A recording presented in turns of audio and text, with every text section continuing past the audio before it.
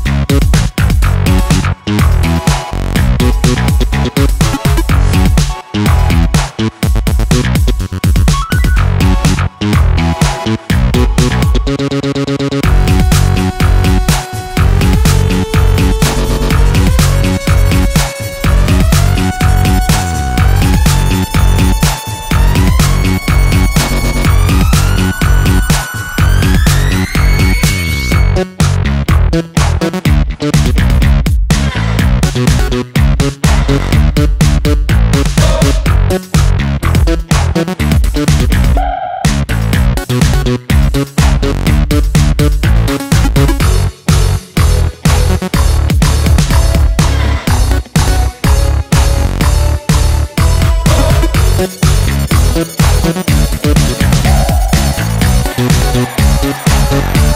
back.